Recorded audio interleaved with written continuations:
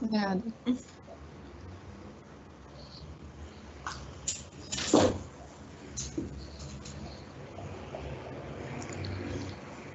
Boa noite, pessoal. Vamos dar início então à Colorado 2020/2, que esse ano está acontecendo de forma online. Um momento bastante atípico, mas que a gente não poderia deixar de fazer esse evento, que sempre traz palestras e debates muito interessantes, não só para os calouros e calouras, mas para todos os ensinos. Então, hoje a gente vai começar com a mesa redonda, principais pontos do novo marco legal de saneamento básico. Eu me chamo Jennifer, eu estou no quinto semestre da Engenharia Ambiental. Hoje estou representando o DCE, mas também represento o Diretório Acadêmico da Engenharia Ambiental, no qual faço parte. Aqui comigo também está a Natasha Mello e a Luísa Vivan, que também são do Diretório Acadêmico. Então, os nossos convidados de hoje para a nossa mesa são a Roberta Teixeira, que é engenheira sanitarista ambiental, mestre em tecnologias sustentáveis, mestre em engenharia civil e doutoranda em saneamento ambiental pela URGS. Atua na área de saneamento ambiental há 10 anos, atualmente é pesquisadora na área trabalhando com gestão de saneamento e no desenvolvimento de tecnologias para a remoção de contaminantes emergentes em águas. E o Rafael Timbola, que é engenheiro ambiental, doutor em engenharia e pós-graduando em direito ambiental. Especialista em investigação e remediação ambiental e atualmente é diretor na empresa Sanear Engenharia e Treinamentos e responsável pela página O Perito Ambiental. Então, antes de a gente iniciar o nosso evento, gostaria de enfatizar que é necessário preencher o, a lista de presença. O link do formulário está na mesma parte onde coloca as perguntas, tá? Então, antes de a gente passar a fala para os nossos convidados, eu e as gurias vamos mostrar um panorama do saneamento no Brasil, com alguns dados nacionais e do Rio Grande do Sul, e também um breve histórico até a aprovação do novo marco legal de saneamento básico. Então, vou abrir aqui a apresentação.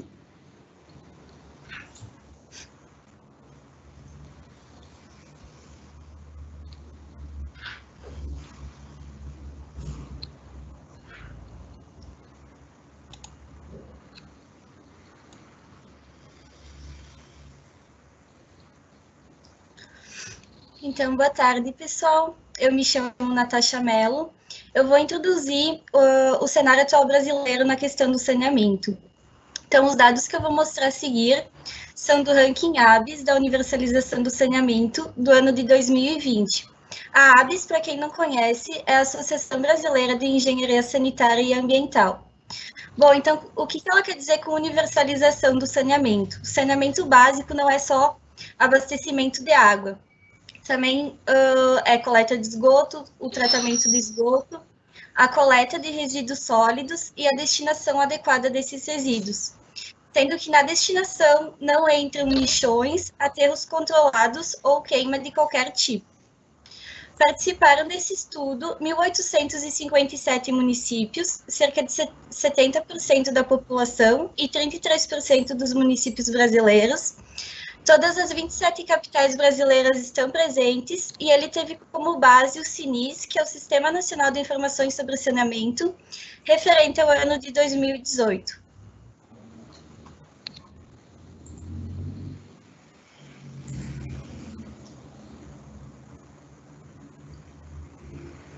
Bom, qual é a metodologia que a ABS utiliza? Ela divide os municípios através de categorias conforme a pontuação. Essa pontuação, ela é a soma referente aos cinco indicadores que eu falei anteriormente. Então, quanto maior for a pontuação, maior é o acesso da população ao saneamento. Uh, na base da pirâmide, a gente tem, então, a categoria de primeiros passos para universalização, e conforme a pontuação vai crescendo, ela passa, então, para o empenho, para o compromisso, e o topo da, das categorias, então, uh, seria o rumo à universalização. Uh, a pontuação máxima é de 500 pontos uh, e ela é atingida quando o município uh, atinge, atinge 100% em todos os indicadores.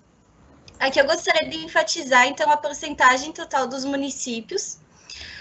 nessa categoria de rumo à universalização, que é a, a melhor ranqueada, apenas 5% dos municípios brasileiros estão nela a maior parte dos municípios se concentra na categoria de empenho para universalização, cerca de 70%.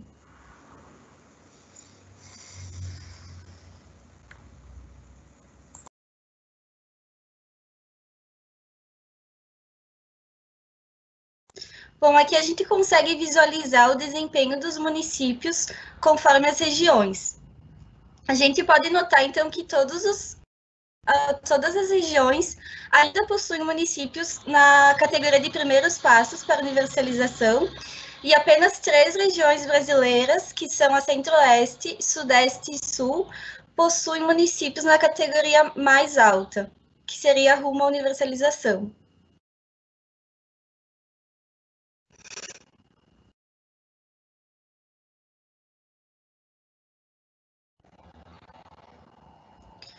Bom, proporcionalmente, então, a região sudeste possui mais municípios nas categorias mais altas, que seriam rumo à universalização e de compromisso com a universalização. A região centro-oeste apresenta mais municípios na categoria de empenho, ela compreende cerca de 83% da categoria, e as regiões Norte e Nordeste possuem mais municípios na categoria de primeiros passos. O que isso significa? Que há uma precariedade no saneamento básico dessas regiões.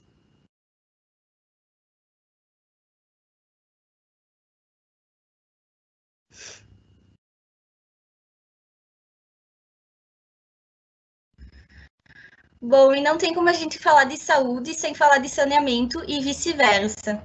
Aqui eu trouxe alguns dados uh, também relacionados à economia. Então, em 2018, foram registrados mais de 230 mil internações por doença de veiculação hídrica, que são as doenças uh, transmitidas via feco oral, totalizando 90 milhões em gastos no SUS. Em 2018, foram registrados 2.180 óbitos em razão dessas doenças. E segundo a OMS, Organização Mundial da Saúde, para cada dólar investido em água e saneamento, são economizados 4,3 dólares em custos, em custos de saúde no mundo. Ou seja, se aqui no Brasil a gente investisse um real, o retorno seria equivalente a quatro reais.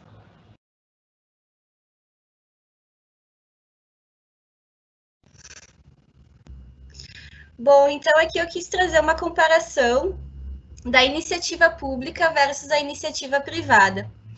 Uh, considerando perda de água, então, uh, a iniciativa pública desperdiça 39%, já a privada, 48,7%. O investimento público chega a 405 reais, já o investimento privado ele é menor, 377 reais. E quanto à tarifação, Uh, a iniciativa pública tem uma tarifa média de R$ 3,78, enquanto a privada R$ 4,72. Ou seja, uh, a iniciativa privada investe menos, desperdiça mais água e a tarifa também é maior. Então, com isso, a gente se pergunta, né? Será que privatizar é realmente o melhor caminho? Agora, então, eu passo para minha colega Luísa. Boa tarde, gente. Eu sou a Luísa e eu vou dar continuação, então, na fala da Natasha. Então, como a Natasha tinha falado uh, das quatro estágios, então, do ranking da ABS, o primeiro deles, uh, mais avançado, é uma universalização, que, infelizmente, então, no estado do Rio Grande do Sul, a gente não tem nenhuma cidade que se enquadre nisso. Uh, em compromisso com a universalização, nós temos a cidade e o município de Uruguaiana e de Porto Alegre. Porto Alegre, no ranking das capitais, então ela ficou em 11 uh, lugar, com as 27 capitais mais o Distrito Federal. Uh, e a maior parte dos municípios, então, do estado, eles estão dentro da categoria de desempenho com universalização, que contam com cidades de grande e médio porte, como Caxias, Bento Gonçalves, Santa Maria, Pelotas e Rio Grande.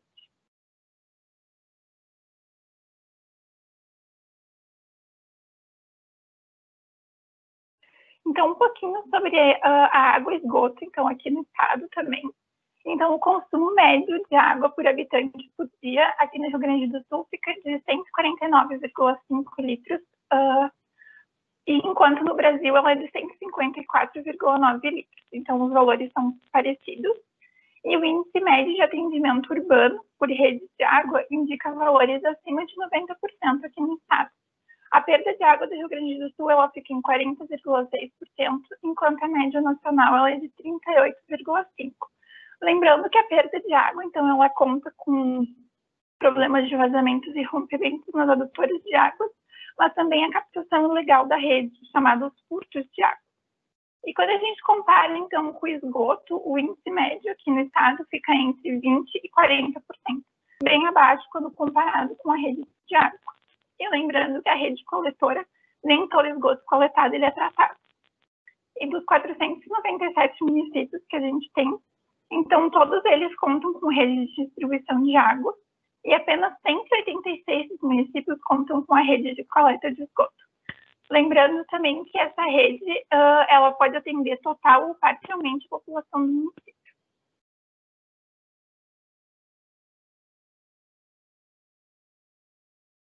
E um pouquinho, então, sobre a tarifa, que é bem discutido o que, que vai acontecer com a tarifa depois do novo marco, né? Então, vamos ver como que é a tarifa hoje.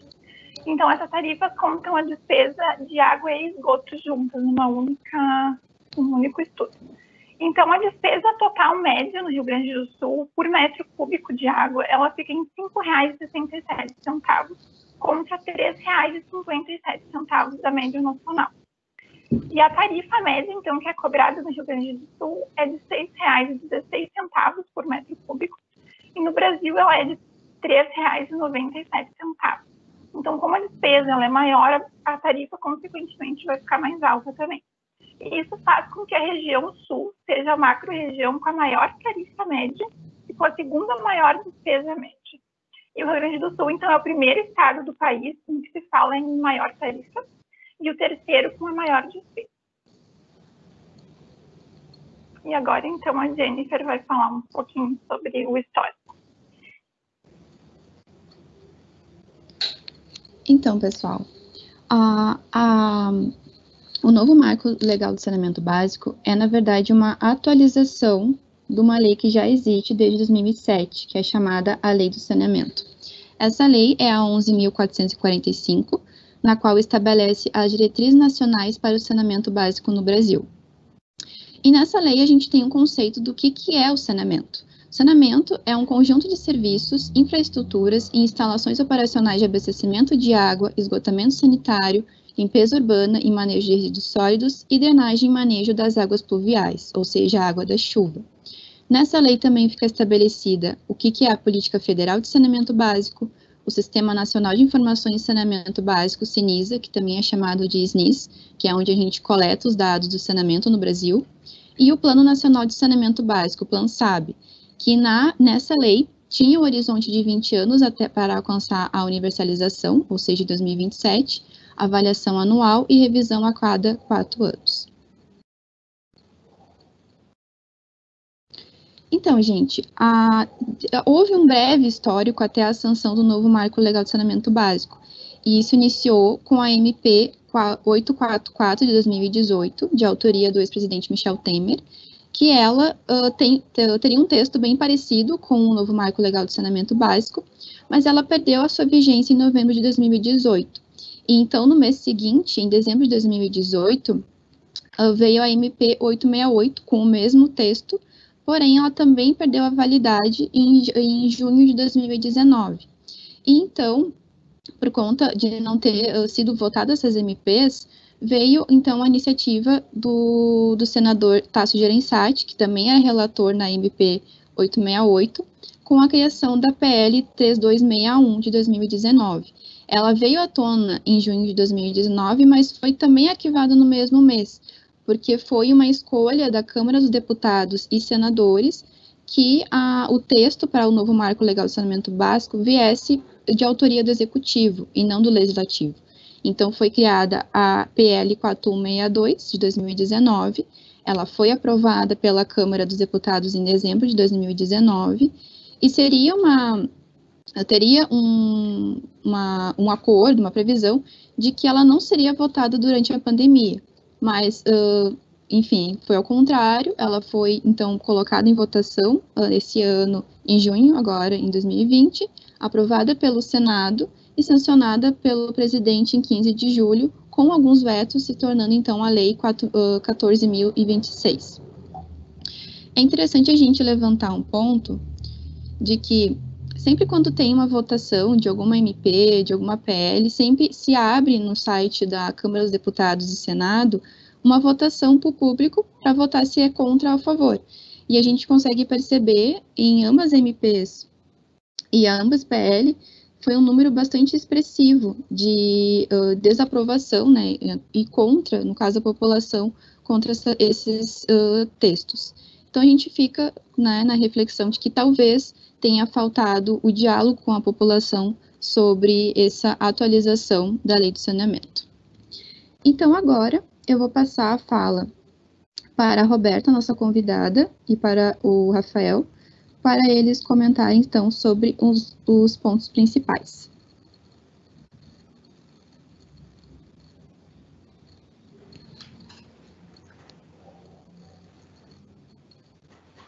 Eu vou deixar a Roberta falar primeiro, primeiras, primeiras Ei. damas.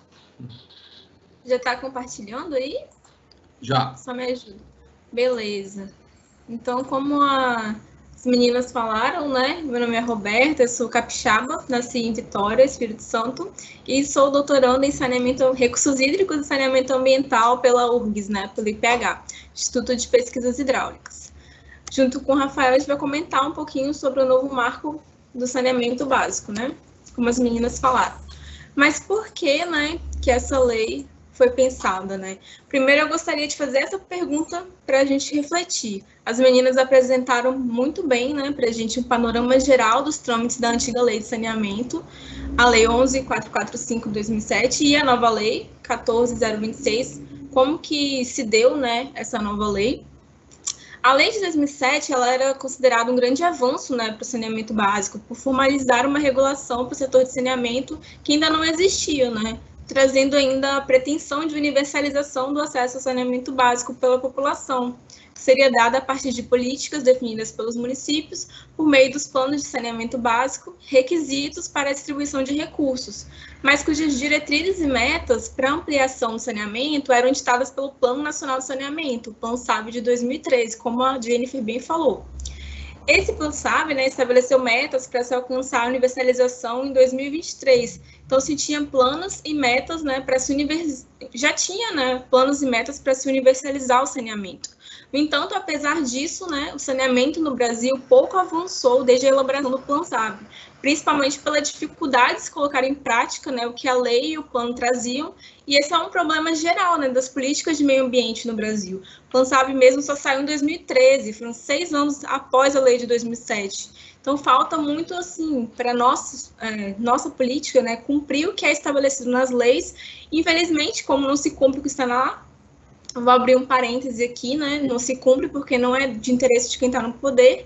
Precisa ter uma fiscalização e que seja uma fiscalização efetiva, né, e correta. Bom, como que a gente estava, né, em 2018? Como a gente estava em saneamento em 2018? De acordo com os dados, né, do SNIS, que como as meninas falaram, que é o Sistema Nacional de Informações sobre Saneamento, é, as metas estabelecidas no Planzab para esses indicadores, né, população atendida com água tratada, coleta de esgoto e esgoto tra tratado e o índice de perda de águas na distribuição, as metas estabelecidas elas não foram alcançadas em 2018 e ainda estava-se muito longe de atender as metas de universalização para 2033, como a gente pode ver aqui nessa figura, por exemplo. A evolução, por exemplo, né, da... A... Oi? População atendida Tu Mas... poderia colocar em modo apresentação para a gente visualizar os dados ah, melhor? Ah, sim. Desculpa. Acho que é esse aqui, né? É esse aqui. É, sim, agora sim? Pode colocar em modo tela cheia, daí só fica os slides.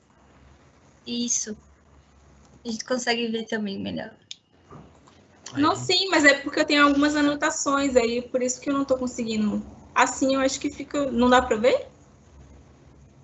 Não, pode ser então, pode ser.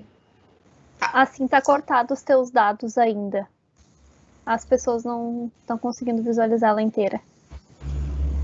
Tá, peraí. Então, vou botar. Quais dados que estão cortados? A gente tinha treinado, a gente falou que tá tudo ok? Tá bom, peraí. É esse modo, né? Tá aparecendo tudo?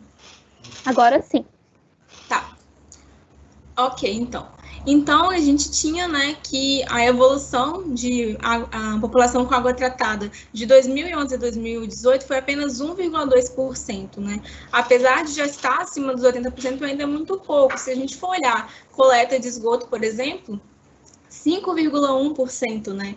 E aí, assim vai. A perda de água, por exemplo, na distribuição, só diminuiu 0,3%, né? Então, realmente, é, a gente tinha esse, esse resultado bem aquém do que a gente estava esperando, né?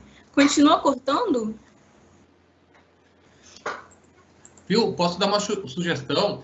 Ah, claro. Agora a gente consegue ver bem. Quando é um dado um pouco mais assim, que fica menorzinho, a gente te avisa e daí tu compartilha a tela cheia para nós. Ah, sim, pra gente beleza. conseguir ver o dado daí.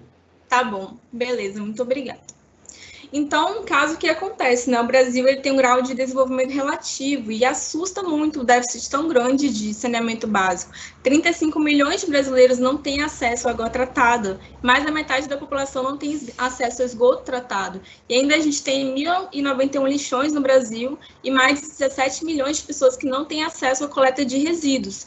Pela conjuntura né, governamental, junto a esse grau de desenvolvimento, tipo, é atrativo, né, que para empresas privadas, no caso, pelo déficit de saneamento do Brasil, que se tenha essa iniciativa privada, né? Uma vez que se tenha também políticas favoráveis. Só que isso é um perigo, porque água é essencial, não se pode viver sem. Então, assim, é um negócio muito lucrativo, que tem muito problema, porque pode causar monopólio. Então, antes de pensar numa lei, assim, tão que seja tão aberta né, a privatização, acho que teria que ter sido uma discussão mais forte né, com a população.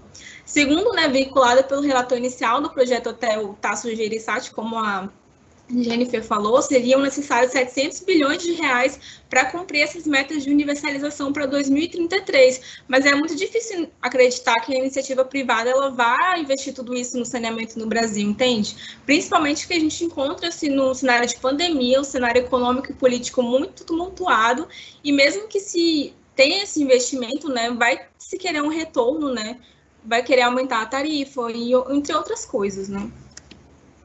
Bom, com relação aqui a, por exemplo, se a gente pensar o, quando a gente analisa, né, os, os, dados assim de relativos ao saneamento, né, como as meninas já mostraram, não não se tem essa, a gente vê que os dados é, as empresas né, públicas elas acabam tendo uma tarifa menor do que a privada, como as meninas mostraram. As perdas de água no privado são, é, são maiores e os investimentos também no público são maiores. Então, quais seriam essas vantagens, né? E ainda a gente tem um exemplo do Rio de Janeiro, que em quatro anos, por exemplo, essa notícia é de 2019, o Fundo de Conservação Ambiental do Rio só aplicou 1,2% da arrecadação em saneamento. Então, para onde está indo esse recurso? Então, na verdade, não é a política que está errada, né? Falta uma fiscalização adequada, né? E aí eu termino falando, então, no caso do saneamento básico, como quem mais precisa é a população mais economicamente desfavorecida, será mesmo que os problemas de saneamento serão resolvidos? Se a gente for comparar né, os investimentos públicos e privados em saneamento, a gente vê que ainda com os déficits, o público investe mais do que o privado, então, com uma tarifa menor. Então, será realmente que o interesse da empresa privada ele vai prevalecer? Ele vai causar nessa verdadeira e efetiva universalização do saneamento. E é importante também ressaltar que a presença da empresa privada no saneamento ela é benéfica, né? Tem mão de obra qualificada, ela movimenta a economia. No entanto, como a, a lei, a forma que a lei insere a presença privada no saneamento, é, impede, né, que uma boa parcela da população tenha acesso ao saneamento, que é um direito. Então, você acaba negando esse acesso. Sem esquecer, a gente não pode esquecer, né, que o saneamento é um direito básico humano, né? Então, para que a gente consiga entender o que essa nova lei está propondo, como profissionais de saneamento que pensam que o ideal para a população é a universalização efetiva né, do saneamento, a gente vai comentar alguns pontos da lei e discuti-los com vocês. Então, peço também que qualquer dúvida vocês possam entrar em contato aqui no chat para a gente poder sanar. Quer falar alguma coisa, Rafael, os meninos? Então, uh, deixa eu só me apresentar para o pessoal. Meu nome é Rafael, eu sou engenheiro ambiental, assim como talvez vários dos colegas aqui estão estudando ou pretendem se formar. Também fiz mestrado na área e concluí meu doutorado agora uh, em, neste mês. Né? Foi terça, faz 15 dias mais ou menos. e, e, já atuei bastante com saneamento, principalmente na elaboração de planos de saneamento. E, e, esse é um tema bastante relevante hoje no Brasil, justamente pela falta de discussão que houve na aprovação do novo marco. Então, acho que parte principalmente de nós técnicos, né, fomentar essa discussão e trazer à tona uh, dados né, e informações relevantes para que a própria sociedade possa entender o que, que é o saneamento e agir de forma proativa para que a gente busque a tão sonhada universalização. Né?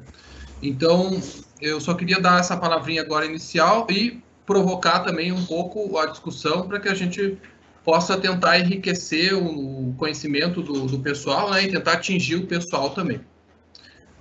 Beleza, com certeza. Então, assim, dentre os principais pontos, a gente vai comentar a, atribuição da competência ANA para instituir normas de referência para a regulação dos recursos públicos de saneamento básico, né? Uh, esse é o ponto que logo chama atenção no marco, né? Essa questão da ANA. E no caso, a ANA até mudou de nome agora, né? Ela é Agência Nacional de Águas e Saneamento Básico. Então, ela mudou até de nome e também de competência também, porque ela acaba, além de continuar fazendo o que ela foi criada para fazer, que é atuar na gestão das águas, né, regular o acesso e uso aos recursos hídricos por meio da emissão e fiscalização da outorga, dentre outras coisas, ela passa a regular um serviço que é problemático no Brasil, que é o serviço de saneamento. Então, assim, será que realmente é uma boa medida essa?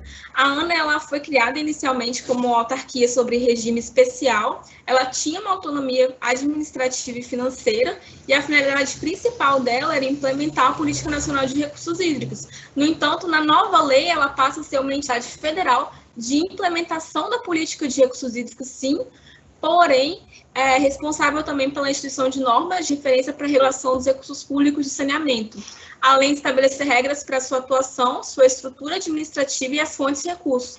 Então, ela passou a ter uma função, de regulação econômica também. Então, isso tem trazido, sim, muitas divergências, né, com relação, principalmente, às associações né, de saneamento, a ASB, a, a ABS, a, a SEMAI. Então, assim, quanto realmente ao papel da ANA e o que, que pode ser decorrido disso, né?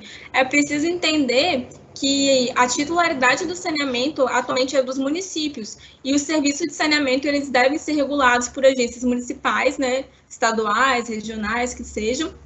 E essas agências, elas são autarquias de regime especial, ou seja, elas são normas constitucionais que disciplinam essas entidades de administração. Porém, elas têm uma certa autonomia. E, no, no entanto, a ANA não. A ANA ela foi criada já ela, ela está sendo né, modificada para ser de regime federal e, e responder a um conselho interministerial que vai ser de atribuição que o governo federal vai falar quem realmente vai compor esse, esse, esse conselho. Então, será que a isonomia da ANA vai ser é, respeitada? Então, assim, o fato né, de ter vários atores né, nessas regras regulatórias, como eu falei, Antes, é, nas agências, né, a gente tem as agências reguladoras municipais, distritais, regionais, e isso causava muito problema, porque muitos atores causavam muita instabilidade das regras regulatórias. E isso era muita barreira para investimentos e para universalização e até para padronização né, é, do, dos contratos entre os diferentes municípios.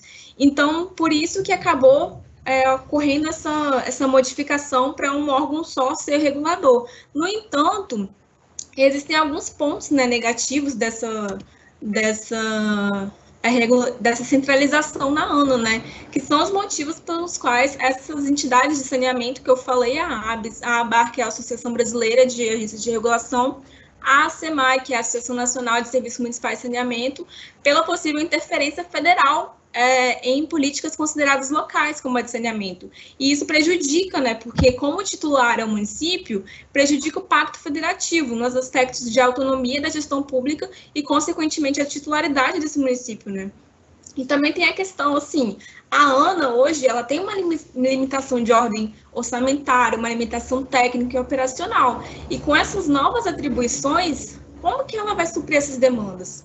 Ela vai ter que atuar nos quatro componentes do saneamento, que é água, esgoto, resíduos e drenagem, junto aos 5.570 municípios em 26 estados e Distrito Federal, além dos órgãos reguladores e dos prestadores de serviços locais. O que se apontaria assim, um grande desafio para a ANA também. Então, realmente tem que se pensar e não pode abrir concurso, então como que seria isso? Além disso, as regiões elas têm muitas disparidades, né? É, por exemplo, assim, como as meninas até falaram, a região norte apenas 10,2% tem acesso né, à rede de esgoto. No sudeste, 78,9%. Então, isso também é um desafio para o setor de saneamento e para a ANA como responsável agora por mais essa regula regulação. Ainda, os 10 é, piores municípios com relação com coleta de esgoto se encontram na região norte e nordeste. Então, isso realmente demonstra que essa é realmente um desafio muito grande. Talvez será que a ANA realmente ela é adequada para isso? Principalmente frente à Constituição Federal e o novo marco, os municípios eles continuam titulares pelos serviços públicos, então não cabe à ANA normalizar diretamente o setor de saneamento, até porque no Brasil não há serviços prestados para abastecimento urbano de água e esgotamento sanitário, por exemplo, que o titular é a União. Então, assim, quando a gente analisa né, melhor, de acordo com todas as leis, os marcos de saneamento, primeiro porque o marco ele é de 2007, né? Esse é um novo marco que realmente tem que ser pensado. E um outro ponto assim, muito importante que tem que ser visto é a questão do conselho né, interministerial porque foi criado um comitê interministerial, desculpa, que tem a finalidade de assegurar a implementação da política federal de saneamento básico e de articular a atuação dos órgãos e entidades federais para alocação de recursos financeiros em ações de saneamento básico. No entanto, a componente, né, a composição desse CISB, ela é definida pelo ato de poder executivo federal e quem vai, vai, vai escolher quem vai ser, ser soberano será o comitê. Mas quem é o comitê? Né? Ele vai ser representativo de toda essa população? A ANA é uma entidade federal, ela não tem mais autonomia administrativa e financeira, o que pode influenciar né, como as coisas vão se dar nesse cenário do saneamento. Então, realmente, a gente tem que afirmar e pensar que existe uma relação direta entre o desenvolvimento econômico do país a longo prazo, a qualidade do seu marco regulatório. Então, claro que os debates e avanços alcançados em nível federal nas agências setoriais, elas devem ser necessariamente replicados nos demais entes subnacionais, de uma forma mais ampla possível, mas é complicado que para garantir a efetividade dessa regulação, a gente tem que ter uma estrutura de governança regulatória é, adequada, com atribuições claras, capacidade técnica, autoridade reconhecida, credibilidade, transparência. Será que realmente essa estrutura, como está sendo pensada, vai alcançar isso? Eu acho que é isso que a gente espera que ocorra, né? Que, e, que seja independente política e financeiramente e que não deixe interesses políticos e privados é, se meterem, né? Que não contemplem a pluralidade da nossa nação, assim. É, Rafael e as meninas quiserem complementar algo? Não? Eu acho assim, Roberto, até queria comentar. Um, foi uma surpresa para nós técnicos, né? Eu mais com a visão técnica um pouco assim de, de, de campo, né? Vou dizer, e a, da Ana, né, de, de, dessa responsabilidade para essa autarquia que a gente já estava muito bem consolidado na gestão da qualidade das águas, né?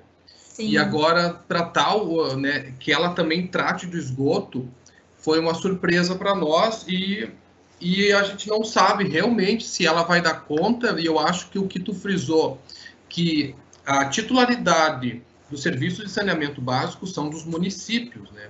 Então, a gente espera que o município resolva a situação de forma local. E aí transferir isso, essa gestão, né, para um órgão federal fica um tanto quanto uh, talvez difuso, né? Então, seria isso de, de, provocação assim que a gente teria para em questão da, da, da Agência Nacional de, de Águas. O que, que tu acha, Roberta, da tua visão técnica Uh, em relação à Ana, ela tem condições ainda de, de ter mais essa atribuição? Também em relação à, composição jurídica dela, ela se mantém ainda como uma autarquia federal? É, pois é, então é o que eu, é o que eu tinha comentado, assim.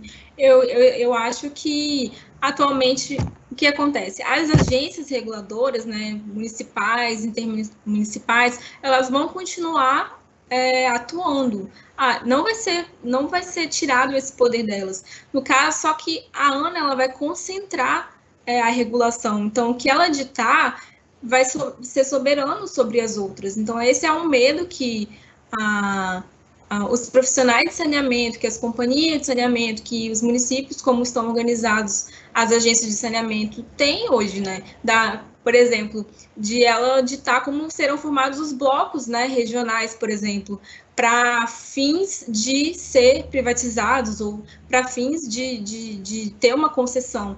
Então, assim, de tirar essa titularidade. Então, na minha opinião, eu acho que não deveria ser. É, até da forma como a ANA né, está organizada hoje, ela não tem quadro técnico suficiente para atender as partes de saneamento, então tudo isso teria que ser pensado.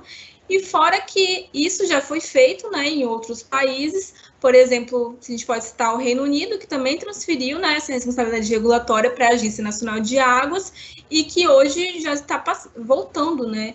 Já é um, já fez a restatização da água, né, no, no, no Reino Unido. Então, assim, é, a forma como está se pensando, está se será que não ninguém viu as experiências internacionais? Então, assim, eu penso que não seja mais ideal que seja a Ana agora. Vocês, acho que as meninas têm um pensamento diferente, não sei.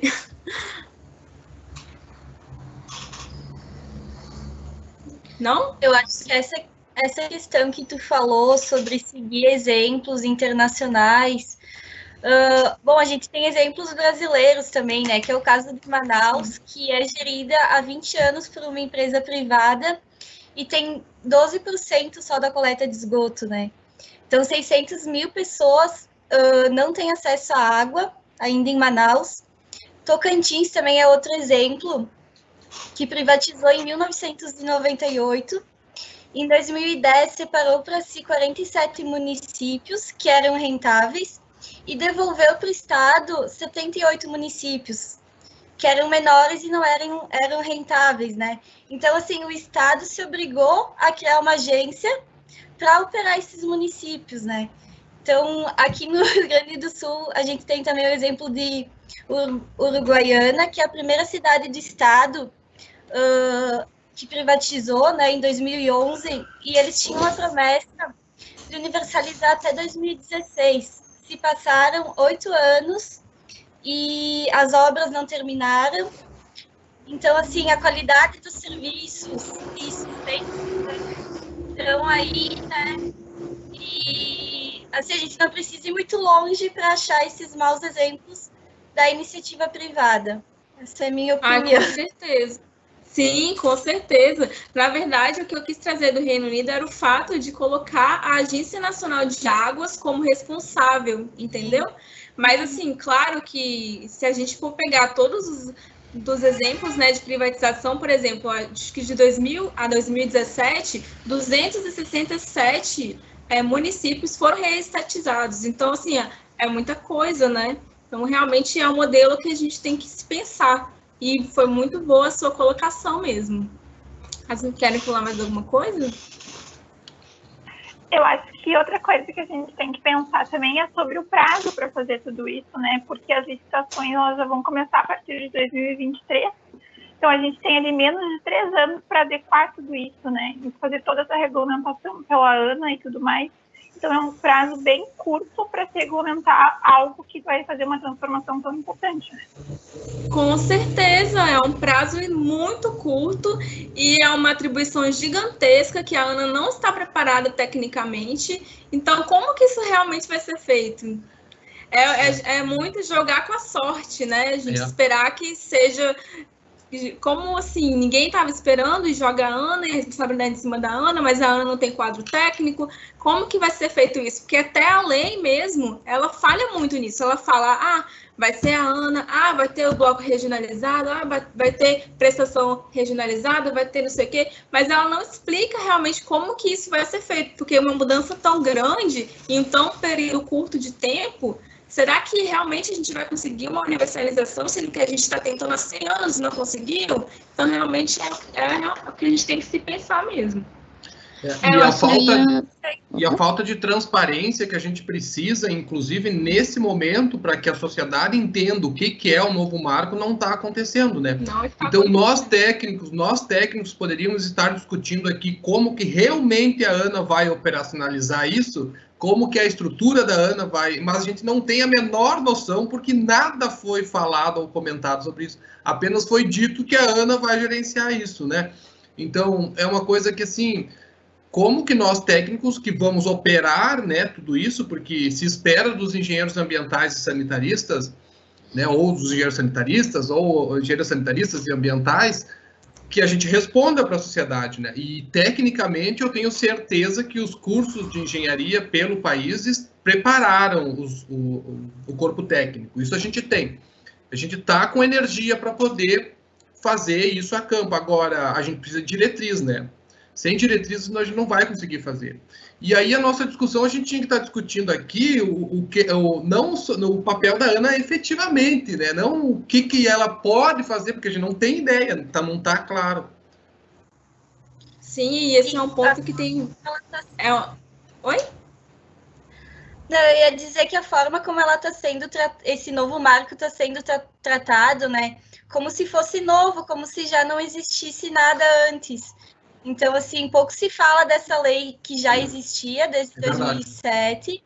Está se tratando como novo, como se a iniciativa privada fosse a heroína do saneamento. Né? Exato, né? exato. E o, saneamento, e o saneamento é algo tão fundamental como moradia, saúde, educação, né? O saneamento tem que ser tratado como um benefício social, não só na visão de lucro, né? Então, a gente vai transferir isso para a iniciativa privada, sabendo que as obras de saneamento são caríssimas, caríssimas, né? Não só o preço, mas todo inconveniente. Não é fácil fazer obra de saneamento, né? Então, a gente vai transferir e, e depois para cobrar uma tarifa que pode dar inadimplência, né? Vai dar inadimplência se for muito cara, é um risco que a gente, para a gente minimizar o risco, nós teríamos que ter a discussão nacional que não houve, né? Que a gente está fazendo aqui com os parcos dados sobre o novo marco que a gente possui. É muito complicado. Com certeza. E aí um outro ponto assim que a gente traz é a prestação né, regionalizada, porque o artigo 2 ele fala que serviços públicos de saneamento básico eles serão prestados com base no, nos vários princípios, dentre eles a prestação regionalizada, para gerar ganhos de escala, garantia de universalização e também para dar viabilidade técnica, econômica e financeira aos, servi aos serviços. Só que aí é, isso é, é, um ponto positivo, ao meu ver, né? Ele facilita a formação dos blocos, até para ter escala para as plantas de abastecimento de água, de tratamento de esgoto, aterro sanitário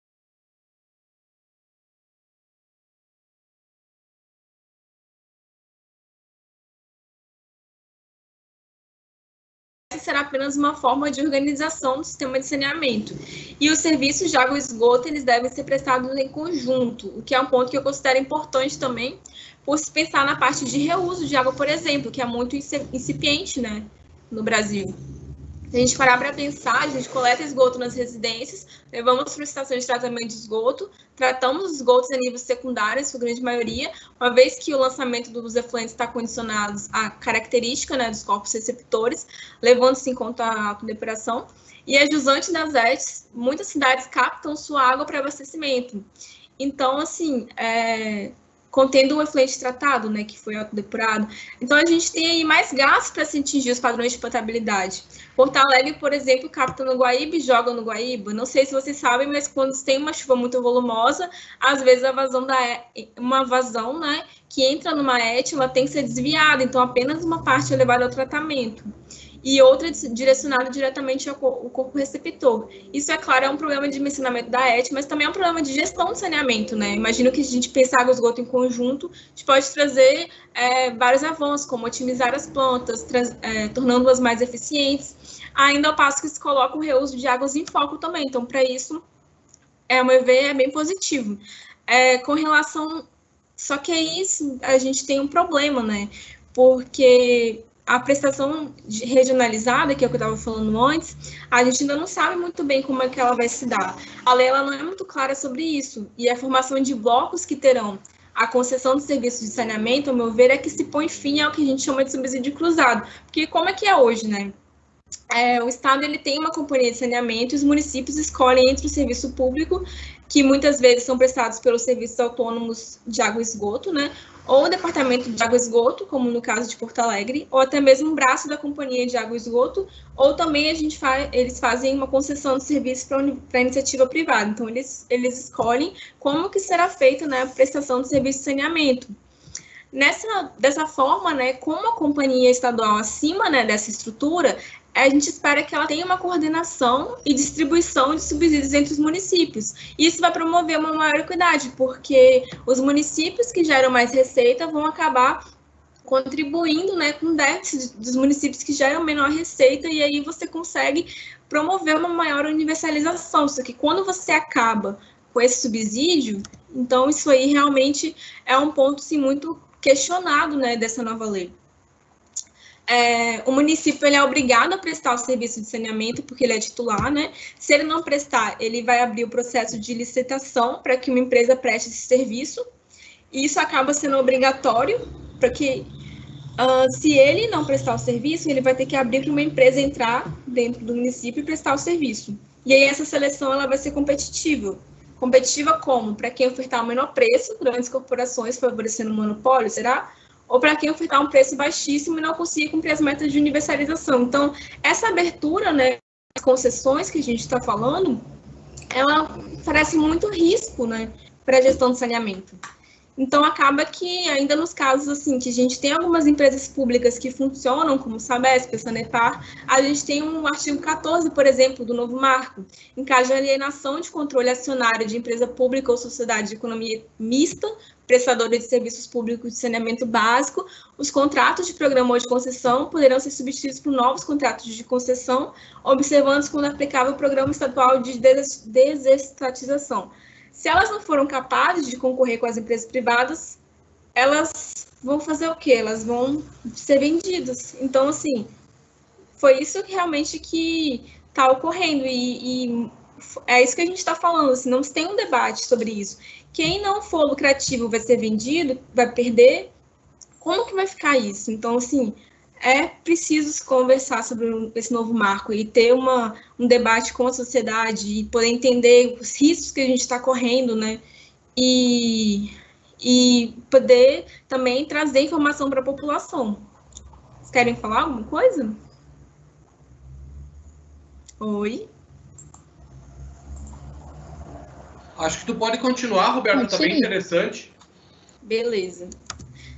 E aí acaba que o que poderia ajudar, né? No caso, assim, o município ele não consegue prestar esse serviço. Ele precisa fazer a concessão e ninguém quer assumir porque ele não dá lucro. Então, poderia ajudar um apoio técnico e financeiro da União. Só que esses apoios eles vão ser subsídios estabelecidos pela ANA. Mas não se fala como esses subsídios eles serão dados. Se não tiver alternativa, ele vai precisar. E a iniciativa privada não achar lucrativo, quem, quem vai arcar com tudo isso, assim? É, antes, né, tinha-se o artigo 29, né, da lei 11445 de 2007, que é o marco do saneamento, né, os serviços públicos e saneamento básico terão a sustentabilidade econômica financeira assegurada, sempre que possível, mediante remuneração cobrança de serviço. Agora eles mudaram, né? É, falando que vão ter subsídios ou subvenções, sendo vedada a duplicidade, mas realmente eles não falaram o que, que vai acontecer como que esses subsídios vão ser dados. Então, o problema exatamente dessa lei é que tem se deixado assim muito à margem e não tem se informado direito sobre o que realmente vai acontecer. São pontos muito importantes que são jogados e que não são discutidos. Então, o que ocorre assim historicamente, né, se a gente pegar exemplos nacionais, como as meninas falaram, internacionais, para uma empresa entrar numa prestação de serviço, o que se observa é a obtenção de empréstimos junto ao governo. E conforme se obtém o lucro, a empresa ela vai reverter nesses empréstimos. Só que isso causa muitos problemas, porque se a empresa entra em falência, pela prestação regionalizada e obrigação de licitação, no caso do município, não conseguir arcar com saneamento. Se a empresa entra em falência, como é que ela vai fazer? é possibilitado que uma empresa que opere em um município lucrativo, é, com a prestação regionalizada, né, possibilitado que uma empresa que opere com um município lucrativo, como Porto Alegre, por exemplo, opere em Bento Gonçalves, que não tem coleta de esgoto, por meio da prestação regionalizada em blocos de referência. Isso poderia se compensar, né? Só que hoje o Bento Gonçalves não tem coleta nem tratamento de esgoto. Por quê? Priorização de investimentos? Só que o que acontece? Você acha que a empresa ela vai abrir mão de ficar com um município que é lucrativo para ela, que já tem a rede toda certinha lá, que ela só tem que ficar fazendo manutenções e, e recolhendo a taxa de coleta, assim, você acha que ela vai querer é, pegar municípios que ela tem que construir toda a infraestrutura de saneamento? Porque exatamente é isso, é essa história do, do saneamento no Brasil, né? Primeiro, a infraestrutura todo o governo que faz, depois entra a iniciativa privada e faz o quê? A, a administração das estações de tratamento. Então, assim, não é, não é de interesse privado. Então, a lei, ela não ela não trata desses assuntos assim, ela não deixa claro assim, quem não tiver quem não for querido pela iniciativa privada e não for lucrativo, o que, que vai fazer? Se a gente pensar numa prestação regionalizada né, entre as cidades por uma empresa privada, em Porto Alegre deverá ser mantida a operação do sistema e ampliado, e em Bento deverá ser feito todo o sistema de coleta e tratamento de esgoto, por exemplo, juntor de água. Será que isso realmente será realizado? Ou as empresas privadas elas terão interesse apenas em municípios com alto potencial de lucro? deixando municípios que hoje são o nosso foco para a universalização do saneamento de lado. Então, esse é o perigo da lei. Será mesmo que as empresas terão interesse em arcar com tudo isso? E a custo de quê? Quais serão as consequências para a economia e para as contas finais da população? Aumento de tarifas. Se não for lucrativo, a empresa não terá interesse. E quem terá que continuar arcando com isso por lei é o município, porque ele é o detentor da titularidade de saneamento. Mas como que ele vai fazer isso, né? De onde virá os subsídios? segundo o novo marco, como eu falei, a Ana ela vai arquitetar isso, mas ela não vai, ela não define como. Então, isso é um grande problema. É, oferece mudanças à lei que não tem, tem alternativas que não tem alternativas para se não der certo, né? É um pretexto, né? Um outro ponto também, por exemplo, né, como eu falei, esse aqui é o caso de Bento Gonçalves, né? E aí, o que acontecia antes, né? São os contratos de programa. Não sei se vocês já tiveram oportunidade de ler sobre isso, que esses contratos eles foram extintos pelo artigo 10 da nova lei, né?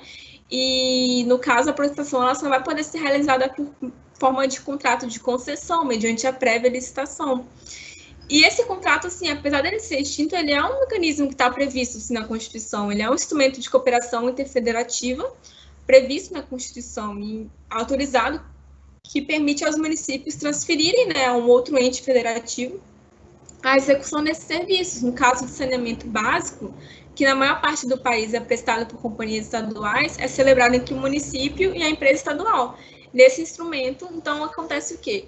Que as, as, a, por meio deles, né, as empresas estaduais elas são capazes de manter a mesma tarifa para todos os municípios atendidos. Isso acontece porque eles utilizam o subsídio cruzado, né, que que acabou que eu falei um pouco antes.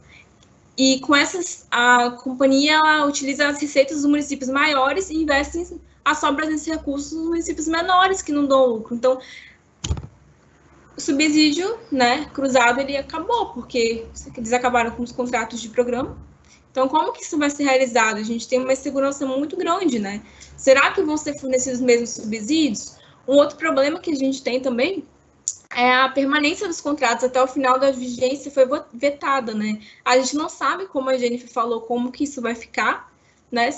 Os contratos eles vão ser extintos e tudo que se estava fazendo com relação ao saneamento será paralisado e prejudicado. Tem que se pensar como é que vai ser, né? Essas questões.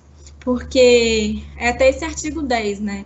Parágrafo 3 os contratos de programa regulares e vigentes permanecem em vigor até o advento do seu termo contratual. Foi vetado e aí, no caso, a, vão ter que eles vão ter que se adequar e fazer novos contratos até 31 de março de 2022. Então, realmente a gente há uma insegurança, né? Um eu outro... só ia comentar, Roberta. Sim, aham. Uh -huh. Se eu Sim, comentar sobre uh, o fim do, do contrato de programa, que pela nova, com o novo marco, agora é obrigatório que se abra a licitação para Sim. conseguir o recurso da União. Então, já é um, um, uma forma bastante impositiva, né? Que só, só pode ganhar o recurso que a União está reservando para o saneamento somente se tu abrir a, a, a licitação. E com esse veto, né? O veto dos contratos atuais que poderiam permanecer até 30 anos também acaba, como tu comentaste, né? Acaba tornando muito instável e o município acaba sendo obrigado a ou fazer a concessão da empresa pública ou abrindo a, a licitação, né? E acaba que fica amarrado, né? Tipo, ou você se vira, faz uma empresa pública muito boa, que vai conseguir competir com as empresas privadas, vai correr, né, gente? Infelizmente, do jeito, realmente, do jeito que tá, fica um pouco difícil, né?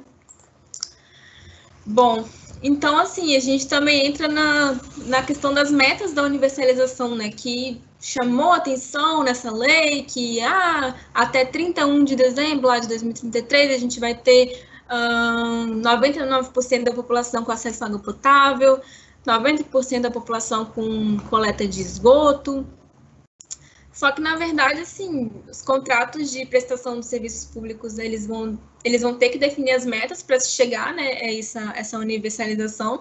Só que, como que a gente está hoje, né? Será que a gente é capaz de chegar lá? Tá muito difícil, né? Por exemplo, na região norte, a gente falou 10,49% de coleta de esgoto, né? 21,70% só de tratamento de esgoto. Então, será que a gente realmente vai chegar lá? O que vocês acham? Quem precisa né, de investimento na saneamento são áreas precárias. Né? Como o Estado quer que as empresas resolvam em 13 anos, que o Brasil não resolveu em 100 anos. Então, essa disparidade ela vai continuar e vai só piorando, né? É, será que ela vai conseguir chegar onde precisa? Que, será que a universalização vai conseguir chegar onde ela precisa? Tanto que a gente tinha falado do investimento necessário da ordem de 700 bilhões. Será que isso realmente vai ser reinvestido? Acho que é preciso a gente ter uma convicção de que a universalização do serviço público de saneamento ela vem acompanhada né, de políticas de desenvolvimento sustentável, com a distribuição de renda, prioridade de políticas públicas que atendam as populações vulneráveis, né, tanto na cidade quanto no campo. E política pública quem faz é o Estado, não são as empresas que vão reduzir essas desigualdades, entende? Então a gente está jogando a responsabilidade para privatização de uma coisa que é a responsabilidade do Estado, do, dos municípios, entendeu? Então, realmente é, um, é uma falha, né? E por que, que a gente tem essa disparidade, né? Por falta de, por problema de gestão, né? Foi investido errado, né? 63,3% dos recursos voltados para o saneamento se concentram em São Paulo, Minas Gerais, Paraná, Rio de Janeiro e Bahia. Apenas 1,7% aplicado em Amazonas, Acre, Amapá, Lagoas e Rondônia. Então, claro, né, que vai gerar essa disparidade. A gente tem que pensar também em termos de população, né? Região Nordeste, ela é a segunda mais populosa. Por que não priorizar investimentos também para lá? Felizmente, é o que acontece. E aí eu volto naquele slide, né, que eu tinha mostrado, né, antes, é, por que crescemos tão pouco de 2011 a 2018, né? Será que com esse marco esse problema vai ser resolvido? Se quem mais precisa de saneamento são as periferias, os estados das regiões norte e nordeste, será que realmente o saneamento vai chegar lá? Será que vai chegar lá? Eu não acho. Por exemplo, quem precisa para onde que vai chegar se for iniciativa privada? Vai chegar para os municípios mais ricos, é, isso é óbvio. Então, realmente, se, uma vez que a gente tem uma elevada discrepância no PIB né, entre as regiões, destacando-se a região sudeste com 54,9%, esse dado é de 2014, está desatualizado, mas não, não diferenciou muito, né? Ela concentra a maior parte do PIB brasileiro e os maiores investimentos em saneamento. Se quem teoricamente poderia pagar pelo serviço se concentra nas regiões com menor necessidade de investimento, como é que o modelo proposto de privatização vai ser o ideal, né? Isso sem falar na que a universalização ela não inclui a questão dos resíduos sólidos, por exemplo. Claro que ela fala da, dos lixões, né? acho que a gente tinha até comentado, acho que foi a Natasha, né? A gente tem uma alta, uma média de coleta de resíduos sólidos até alta, assim, mas um grande problema na adoção de medidas adequadas de disposição final. Por exemplo, a gente ainda tem, né, como eu falei, 1.037 lixões. E isso quem dirá a valorização. O novo marco não fala de coleta seletiva, o novo marco não fala de valorização. A meta era que fossem extintos os lixões de 2014, de acordo com a Política Nacional de Resíduos Sólidos de 2010. Depois, essa meta ela mudou para 2018, entre 2018 e 2021, pela medida provisória, né, 868, e o novo marco ele define novos prazos para o encerramento de lixões em céu aberto. Capitais e regiões metropolitanas terão até 31 de dezembro né, de 2020, e municípios com menos de 50 mil habitantes terão até 2024. Se até hoje eles não conseguiram encerrar lixões, eles vão, vão conseguir encerrar até 31 de dezembro de 2020? Não sei, né? Eu acho que não. Essa medida ela vai visar apenas ampliar os aterros sanitários de referência, né, operados pela iniciativa privada, pelas concessões, que serão viabilizados pela formação dos blocos regionais, como acontece em alguns municípios. Óbvio que é uma necessidade, mas há de se pensar também, é, além de toda essa problemática né, da privatização, concessão, que o novo marco não tratou muito bem da coleta seletiva, da valorização, que é incipiente no Brasil, né? Apenas um milhão assim de toneladas de um milhão de toneladas né, de resíduos são recuperados pela coleta seletiva. 79 milhões de toneladas de resíduos são gerados no ano. Apenas 3% dos resíduos são reciclados no Brasil. Menos de 1% vai para a compostagem. 65% dos resíduos sólidos são matéria orgânica. Por que, que tão pouco vai para a compostagem? Então, o que, que se espera desse cenário com a ANA como agência reguladora, né? Uma vez que ela não tem ainda expertise nessa área. E a nova lei ela não instituiu metas para coleta de resíduos no geral, quem uh, que falta para mais de um milhão de brasileiros. Então, nos falou muito nisso, né? Quem dirá para coleta seletiva, reciclagem, que deveria também ser prioridade para saneamento. Acho que não adianta a gente fazer, pensar, ah, vamos acabar com o lixão, fazer um aterro sanitário meia boca, que tem chances de voltar ao lixão com certeza no futuro, se a gente não oferece subsídios, né? Fora que se a gente tem que pensar também na questão mundial, né? Os resíduos eles têm um enorme potencial de valorização para conversão em lucro, né, para os estados e municípios. Só que no Brasil 3% só é reciclado. Então é um desperdício por causa de uma má gestão. Se a gente compara o percentual de reciclagem no mundo, no Brasil é uma vergonha para nós. E por que, que eles investem tanto no mundo, né, em reciclagem, em valorização dos resíduos? Eles gostam de perder dinheiro? Acho que não, né? Porque é viável, se bem pensado, se tem uma regulação, se tem políticas públicas adequadas. Então, realmente é complicado essa situação. E ainda tem a questão do veto, né, do artigo 20, que a gente estava até comentando com as meninas, que diferenciava né, o tratamento entre atividades de abastecimento de água, esgotamento sanitário e outros resíduos de saneamento básico, como a gestão de resíduos sólidos. E esse veto acabou inclu ele inclui, é, inclui né, o, os resíduos no mesmo bolo de água e esgoto, né, para acelerar a ampliação dos, dos resíduos dos aterros de iniciativa privada, que como a água e como o esgoto vai ser virar vai acabar sobrando para a população, né? Vai vir para o bolso da população. Pois é, felizmente. Aí até trouxe essa figurinha aqui, né? Quem vai pagar essa conta, né? Somos nós. Com relação. É... Alguém quer comentar, gente, alguma coisa? Pode seguir, Roberto. Tá Beleza. Com relação aos planos né, de saneamento básico, os municípios eles vão continuar responsáveis pela elaboração dos planos, né? É, serão revistos periodicamente no prazo não superior a 10 anos, só que antes era 4 anos, né? Esse, que tinha que ser, ser, revisto com base no orçamento plurianual, então, plurianual, então realmente é complicado. Você coloca no teto de 10 anos, a alocação de recursos federais observará se o bom desempenho técnico, econômico e financeiro, eficiência na prestação dos serviços, operação adequada e estruturação da prestação regionalizada. Então, uh, acaba que fica obrigatória essa prestação regionalizada, né? Eu vejo como benéfica a prestação, só que tem que, se ver, tem que se ver como que isso vai ser feito. Porque se for obrigada essa prestação regionalizada, pode até favorecer a privatização também. Então, tem que, tem que ser pensado, né? Uh, a consolidação e compatibilização dos, dos, planos específicos de cada serviço serão efetuados pelos respectivos titulares, que são os municípios. Por exemplo, eles vão ter um plano para água, um plano para esgoto, e de acordo com de acordo com as prestações também, né, regionalizadas, eles vão poder fazer planos regionalizados também. E isso é bom, porque menos de 40% dos municípios brasileiros têm um plano de saneamento, né, por conta da dificuldade de se formular esses planos individualmente. E aí, no caso, a formação de blocos, ela vai ser até benéfica, né, para isso. Só que é, fez um trabalho todo, assim, para que os municípios elaborassem seus planos, né, e agora chega e, e, muda, então, assim, é um outro ponto que é importante a gente ficar atento, né. E aí vem a questão que precisa ser vista, né.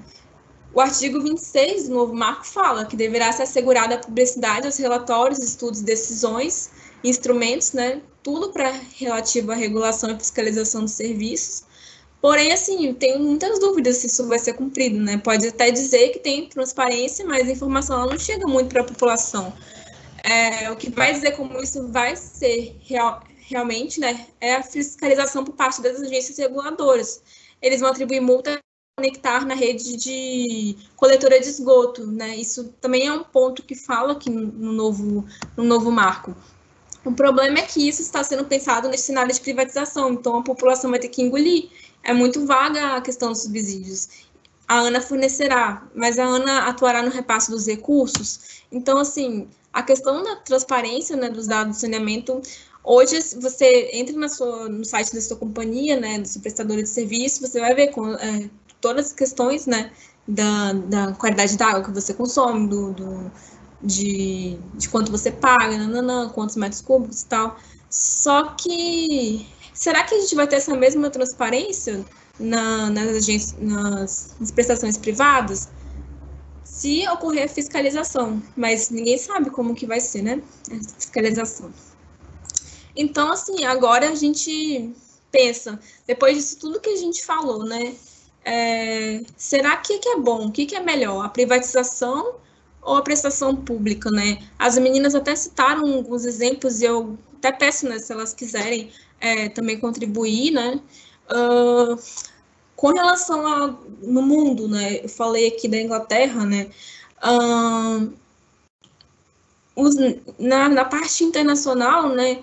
É, a Inglaterra é uma das que mais marcam, né? Com relação a a privatização, porque ela também colocou, como eu falei, a regulação do saneamento a cargo da Agência Nacional de Águas. Isso foi em 1989. Ela vendeu companhias de, de saneamento na promessa de que essas empresas elas ampliariam né, a cobertura e melhorariam a qualidade da água. Ela gerou competição por parte da avaliação das eficiências das empresas. Então, ela seguiu o mesmo modelo que a gente está falando para definição de quem ficaria com a prestação de serviços. No entanto, apesar de ela ter aumentado né, o, é, o investimento bastante é, em saneamento pela iniciativa privada, quando foi vê, viu que esse investimento ele foi muito pouco eficiente. E a tarifa ela aumentou muito, ela aumentou mais de 40%. Então, assim, é, não conseguiram reduzir nem as perdas de água, como estava previsto. E para aumentar o lucro, ainda eles utilizavam assim, laboratórios de análise e empresas fornecedoras que compartilhavam donos em comum com as prestadoras, então, com as empresas privadas prestadoras. Então, assim, isso gerou um, um, um, problema muito grande, né? E a população até se revoltou contra isso, né? É, ainda quando foram solicitadas né, essas empresas que foram que pegaram a prestação de serviço né, da concessão, quando elas foram solicitadas a ampliar as redes que já existiam, né? Claro, o saneamento tem, tem que acompanhar o crescimento das cidades. Elas não aceitaram e entraram em brigas na justiça exigindo que o Estado financiasse. Causou perdas enormes né, do dinheiro parte do governo. Eu acho que a gente tem que ser realista. As empresas elas querem o lucro, via de regra, o risco ele é arcado pelo Estado. E acabou que ocorreu a reestatização né, da água no Reino Unido em 2017 e uma pesquisa realizada né, pelo Instituto Legato ela verificou que no Reino Unido 83% da população defende a reestatização da água. Então, junto com a Inglaterra, a gente tem outros exemplos. A gente tem os exemplos de Paris, Berlim, Buenos Aires, Maputo e várias outras cidades, como eu já falei. E então a gente realmente tem que se pensar internacionalmente, de ver esses exemplos internacionais e trazer para a realidade brasileira. Roberta. Oi. O que tu acha de a gente abrir para as perguntas, tá? A questão Sim, do tempo? Exatamente. É, eu, eu Tá. ia até falar que a gente está um pouquinho é, corrida no tempo. E vamos fazer as perguntas? Isso, daí eu, eu seleciono aqui algumas, e aí vocês podem trocar, enfim, a fala entre vocês ah, convidados, tá? A primeira pergunta que a gente recebeu foi: na opinião de vocês, a privatização com regulação, fiscalização pública seria uma boa alternativa, pelo menos para os grandes centros urbanos, considerando que a competitividade poderia melhorar a qualidade dos serviços de saneamento? Tá. A privatização com uma regulação. Sim, eu acho que se tiver uma regular- regularização, uma regulação, uma fiscalização adequada, eu acho que sim, é benéfica. No entanto, eu acho que não deve se, se é, não deve se misturar o caso de companhias é, públicas com empresas privadas. Sabe, não se pode é, por exemplo, eu acho que se existe um serviço né, que a empresa pública não é capaz de realizar, eu acho que convém com certeza contratar uma empresa privada, né, já que não é da competência e tal, mas eu acho que não pode a empresa pública que está já há vários anos de experiência ali naquela situação ser retirada, no caso, a gente, se ela for comprova comprovadamente é, adequada, né, que se ela tiver desempenho adequado, eu acho que não, não tem que ser retirado. Então, assim, se, eu acho que sim, se, se é possível fiscalizar e se é possível regular de forma adequada, acho que sim, mas tem que ser pensado. Quer complementar, Rafael, alguma coisa? Não, essa eu vou deixar para te responder, Roberta. Acho que tem mais propriedade e depois acho que eu posso continuar daí. Não. Então a gente pode passar para a próxima pergunta? Já Sim, sim. completou? Tá. Ahn, a próxima é: teríamos como saber como esse novo marco ambiental pode afetar o profissional de engenheiro ah, sanitarista?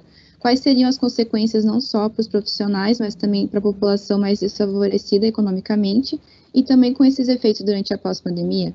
Sei que é difícil provermos o futuro, mas é uma questão que me preocupa muito com a formanda, como formanda em engenharia ambiental e sanitária e cidadã brasileira. Essa eu vou complementar então um pouco. Eu acho que nós, como eu comentei antes, até nós engenheiros ambientais ou sanitaristas, né? Vou pegar como engenheiro ambiental e sanitário. Eu acho que a gente está muito bem preparado para isso, né?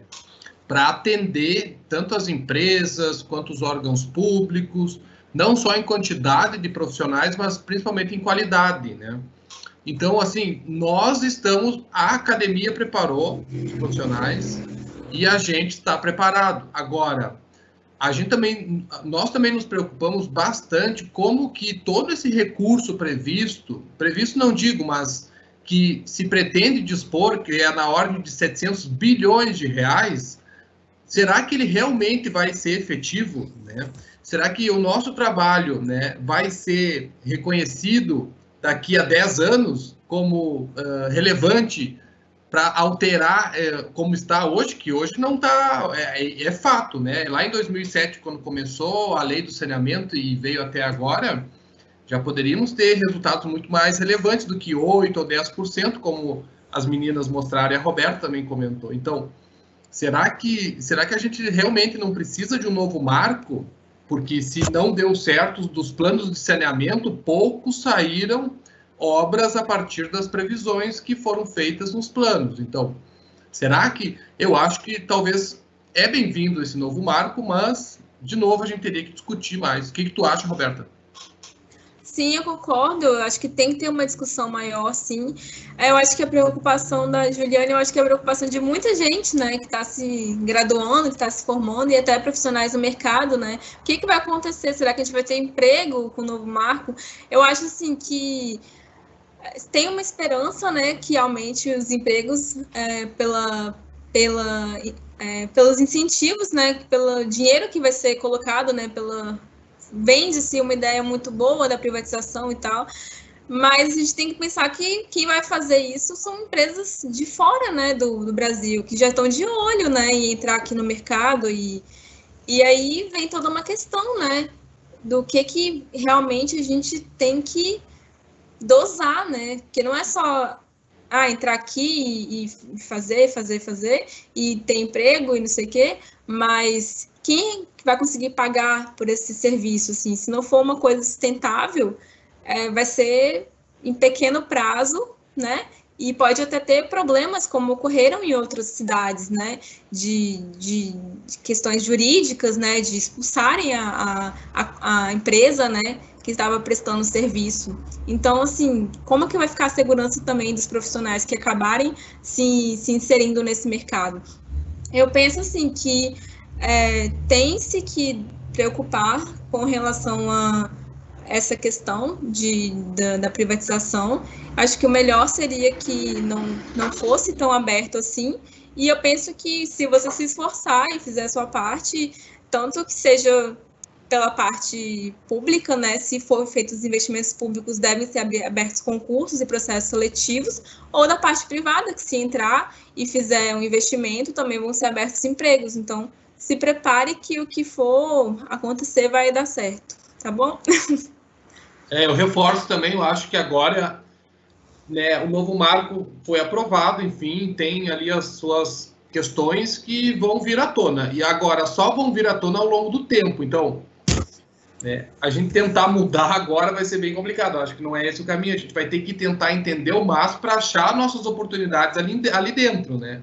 Para daí a gente poder atuar no que a gente mais sabe, que é saneamento, né? Resíduo, drenagem, água, esgoto, né? A gente tem aí uma, a gente pode adotar uma vida inteira e trabalhar só numa área da, do conhecimento aí, na área de saneamento, né? Então, assim, eu acho que a gente tem que, em todo caso, nos, continuarmos motivados para que a gente possa saber, para que a gente saiba, isso é fato. Existe uma demanda reprimida no sim, Brasil nessa sim, área. Com certeza. Né? E que e por não ter existe essa demanda e que vai ter que ser executada. Qualquer país desenvolvido hoje já saneou essa questão, né? E que o Brasil vai sanear. Agora, talvez não é do jeito que nós queríamos, nós técnicos, né? Porque nós técnicos da área ambiental. Por quê? Porque a gente vê o viés técnico e também social. Né? A gente quer que o dinheiro investido e no saneamento ele é muito fato, porque se eu investir 10 reais e chegar em, em, em uma pessoa, e eu investir os mesmos 10 e chegar em duas, é o dobro do atendimento, né? Então, essa é uma equação que pode chegar, assim, no final, representar uma, né, o atendimento de milhões de pessoas que poderiam ter sido atendidas ou não. Né? Então, acho assim, são fatores que a gente vai ter que muitas vezes verificar na prática. Infelizmente, né? Eu trabalhei quando uh, os planos de, uh, no primeiro prazo dos planos de saneamento que os municípios estavam cumprindo, né? E cumprindo muitas vezes sem saber o que, que realmente era o plano no momento que só nós terminávamos ele, né? Ou começávamos a expor para a população através das uh, audiências públicas. E hoje, se eu for, com certeza, se eu for lá naquele município procurar as ações que foram feitas, eu não garanto que todas as ações previstas nos, nos planos tenham sido implementadas. Então, por quê? Falta dinheiro? Com certeza. Mas também falta muita informação. Porque quem vai conseguir o dinheiro não sabe como conseguir o dinheiro. Quem precisa conseguir o dinheiro não sabe. Né? E aí, como é que acontece? Aí tem que ter informação, a gente tem que continuar trazendo à tona questões relevantes. O que vocês acham, pessoal? Concordo totalmente. Boa, ótimas colocações de vocês. A gente pode passar para a próxima? Sim, sim. Uh, então, um comentário barra pergunta da Roberta. Me preocupa em relação às regiões periféricas de interior de difícil acesso e consumo menor. Penso em como ficaria uma gestão privada nesse sentido. Entendo que existe um risco desses locais serem deixados de lado pela iniciativa privada. Gostaria de saber um pouco mais da opinião dos palestrantes. Eu, eu concordo muito com o que a Roberta falou. Eu acho que vai ser deixado totalmente de lado. E o que, que vai acontecer, né? Eu, é, eu acho que, por exemplo, assim, o plano de saneamento teria, o plano de saneamento nacional teria que ter uma previsão, por exemplo, de um índice de viabilidade econômica naquele município, né? Por exemplo, seria né, uma, um cálculo objetivo, ou, né, ou um índice mesmo, né, aonde pondera vários fatores para chegar no, de, de forma objetiva para que possa ser atendido aquele município. Talvez não seja viável, aí seria um fator técnico, por exemplo, para atribuir não mais a iniciativa privada, mas daí então o poder público vai ter que assumir isso como um caráter social, penso eu, né? Ou então tem casos, por exemplo, tem cidades, por exemplo, menores, aqui no do Sul, a gente tem, nós temos muitas cidades pequenas, né? Onde a gente sabe que talvez a construção de uma rede, a, a estação de estação de tratamento, talvez a própria questão geológica da cidade permita em certos casos, a utilização de, de, de, outros sistemas alternativos que não demandem de tanto investimento e que ainda assim possam garantir a segurança de proteção ambiental, né? Então, mas isso só quem pode dizer, talvez, é um plano de saneamento nacional ou plano de saneamento estadual, né? Para poder daí talvez até ponderar tecnicamente e aí a gente utilizar melhor os recursos. O que, que tu acha, Roberta? Eu concordo contigo. E em, no caso, assim, que vai acontecer, vai ter que ser feita essa avaliação que você falou e a junção de municípios, né, para tornar viável, né? Que aí, aí que entra a questão dos blocos regionais, né? Que aí a partir desses blocos, que não precisam nem ser de, da mesma fronteira, vai ser é, feito um plano né, de saneamento para aquele bloco, e esse plano que vai estar como que vai ser o saneamento. Então, assim, a lei ela não fala o que, que vai acontecer com isso, tipo, com os municípios. Então, assim, está muito jogado, essa é a minha opinião. Mas eu concordo com a Roberta, né? Eu acho que realmente as regiões periféricas elas vão ser jogadas, mas eu acho que política muito efetiva do governo de identificar essas regiões, de formar blocos por parte da ANA, inclusive, né, porque ela vai ter essa competência de formar esses blocos e de regular, e daí tentar conversar e tentar prever ou a atratividade para a iniciativa privada, como o Rafael falou, né, de ver a, a viabilidade econômica, né, e, ou então a União tem que arcar com essa consequência, né, os municípios. É, é isso. Ou, ou mesmo o Estado, né, também. Sim, sim. Então, gente, é, como a gente está para encerrar às sete e meia, a gente, eu penso que seria melhor a gente fazer uma última pergunta, daí a gente encerra, pode ser? Pode ser, sim. Bem tranquilo. Tá, então aqui a pergunta da Priscila. Os investimentos altos em regiões pouco atraentes que podem até desestimular empresas privadas, quando é que as empresas públicas irão fazer investimentos? Se até agora não fizeram o investimento alto, não seria melhor haver uma concorrência? Não privatizar e não fazer nada não parece resolver algo? Eu vou, eu vou comentar antes da Roberta, tá. assim, uhum. tem a questão, o, o, saneamento é uma questão fundamental, a qualidade sadia uh, vida, né? A, a, a sadia qualidade de vida, ele é fundamental. Então, por ser um direito fundamental, em tese, a gente tem que dividir com toda a sociedade os, os o ônus, né, os custos da, da implementação disso, né, como é na educação, como é na saúde, né, no país, isso pela Constituição. Então, em tese, o que se está tentando fazer justamente é trazer iniciativa privada para que ela também faça os investimentos e possa, obviamente, explorar. Isso é algo justo. Agora, será que a gente quer fazer isso com a água? com a água que a gente bebe? Né? Será que a gente quer dar esse monopólio? E aí, talvez, será que aquelas situações a gente sabe onde há o déficit? Será que daí o poder público não teria que ter já um respaldo para que ele daí continue fazendo os investimentos, né? Para que ele traga isso para a população? Eu acho que talvez seria isso que teria que ter deixado claro na legislação e que não está. O que, tu acha, Roberta, no, no teu ponto de eu vista? Com... Sim, eu concordo plenamente com você. Eu acho que não, não água é direito, né? O saneamento é um direito fundamental, né? Principalmente. Então, como que você pode... É, o saneamento ele é muito sujeito a ter monopólio. Tanto que, se a gente for ver a participação privada, né? das empresas de saneamento né, privada no Brasil, a gente já vê que tem um monopólio, né? Tem um monopólio ali, inclusive de empresas assim que a, passaram até por problemas eh, jurídicos, né? Então, assim, é, eu acho que tem que ser pensado é, que água é um direito, primeiramente, e, claro, é, não vai se acabar com a iniciativa privada, né? Óbvio que não.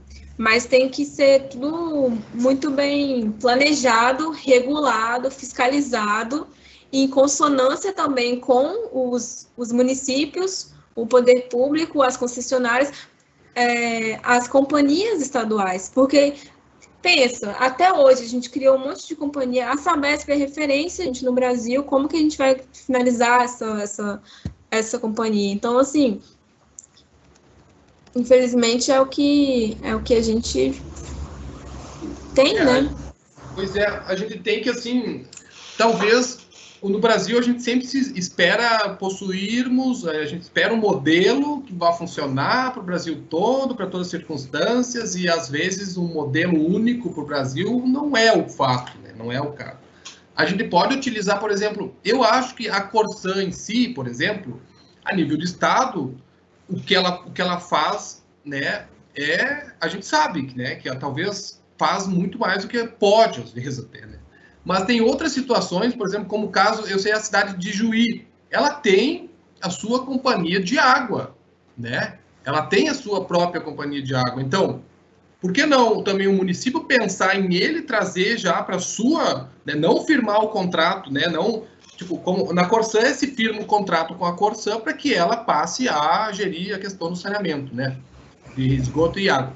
Agora, por que, que o município também ele não pode trazer, já que é uma questão muito íntima do município, e talvez trazer um índice que diga ao município, como o de Juí, por exemplo, que tem o seu departamento né, de, de água e saneamento, que ele faz essa gestão, pegar exemplos assim e trazer diretrizes como neste caso, né? Isso não se parece que não se tentou fazer no marco, tentou se fazer um, uma regulação única que vai funcionar para todos os casos, para o município. Claro, ainda que tem distinção também um pouco, né, regiões metropolitanas e tudo mais, né?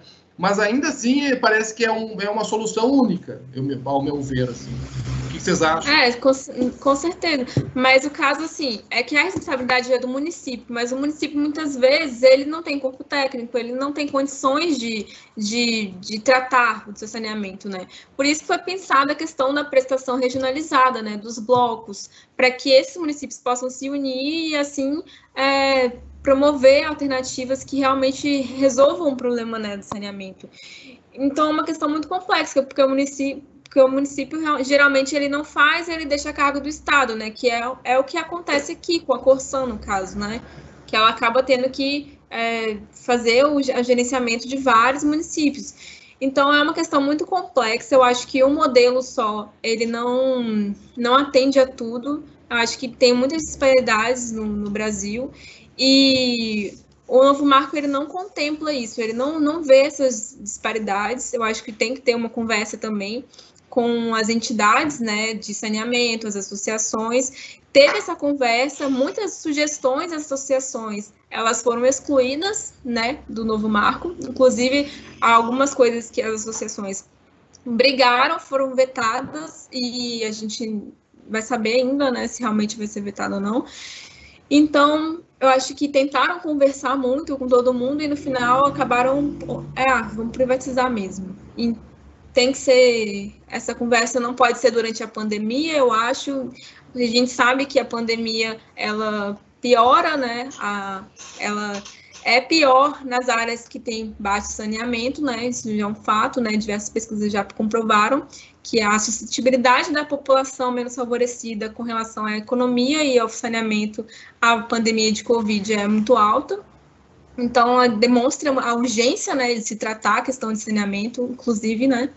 É uma vergonha o Brasil ser, ter esse grau de desenvolvimento e ainda as condições de saneamento serem tão precárias. A gente está sendo é, devastado né, pela Covid-19, olha só, isso é a prova né, de que a gente não está bem.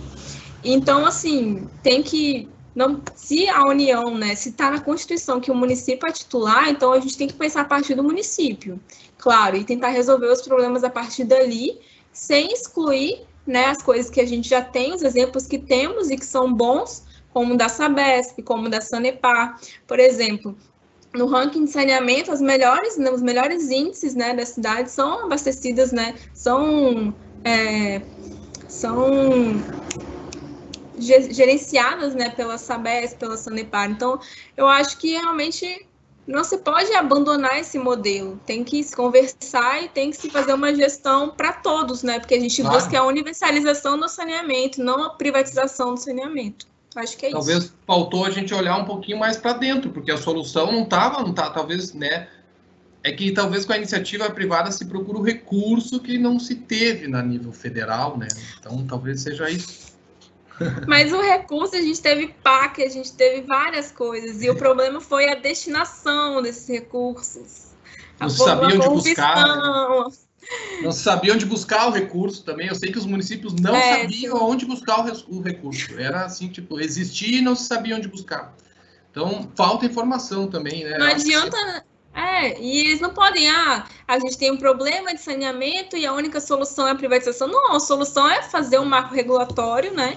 É uma regulação boa, uma fiscalização boa e fazer informar. com que isso seja cumprido, informar, exatamente. Informar. Fazer com que isso seja cumprido. Não adianta é, falar, ah, preciso de 700 bilhões e esperar que a iniciativa privada faça tudo, porque não vai fazer, ela vai pegar e vai se buscar exatamente o lucro, né? Ela não vai ser boazinha e universalizar não, o saneamento, não. né? É, e nesse caso aí a gente corre muito risco, né? Porque a gente vai estar tá concedendo algo que é que não é para dizer que ah, é essencial a sadia qualidade de vida, a água é essencial. Não, a água é tudo, né? Não temos nem como, né?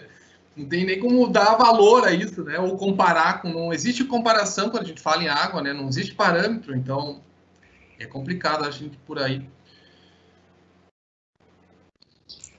Então tá, gente, muito obrigada pela presença de vocês. Acredito que foi uma boa experiência para todos. Então a gente encerra nosso evento e temos bastante palestras e debates durante a semana no nossa Colorado, então quem puder participar vai ser muito bom. Obrigada a todos. Obrigado, gente. Tchau. Obrigado. Obrigado.